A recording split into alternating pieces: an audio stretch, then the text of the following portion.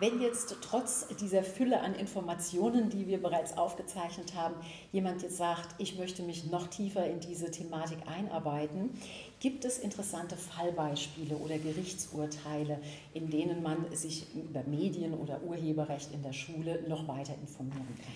Es gibt ähm, sehr wenige Gerichtsurteile. Ein ganz aktueller, da geht, da geht, es tatsächlich, das betrifft nicht nur die Schule, aber da geht es um die ähm, ähm, Facebook-Fanpage und die Verantwortlichkeit, wenn ich also eine Fanpage haben möchte ähm, vom EuGH, das ist jetzt ähm, glaube im März diesen Jahres, 2019, ist das rausgekommen. Wenn Sie darüber hinaus Informationen benötigen oder Informationen wollen über den Datenschutz, da sind die Datenschutzbehörden ähm, ähm, ganz vorne mit dabei. Die haben wirklich gute Informationen, also datenschutz.rlp.de.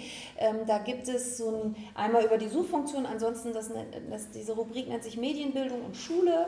Und da bekommt man wahnsinnig viel Information. Das Gleiche gibt es in Hessen, in Datenschutz Hessen. Die haben ähm, ganz viele auch Formulierungsvorschläge. Ähm, in Baden-Württemberg, die haben eine tolle FAQ-Liste, also auch da bei diesen häufig gefragten, ähm, häufig gestellten Fragen kann man sehr viel erfahren.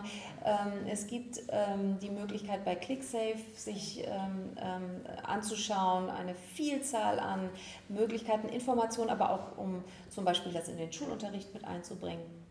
Also da haben Sie ähm, viele, viele Quellen und Ressourcen.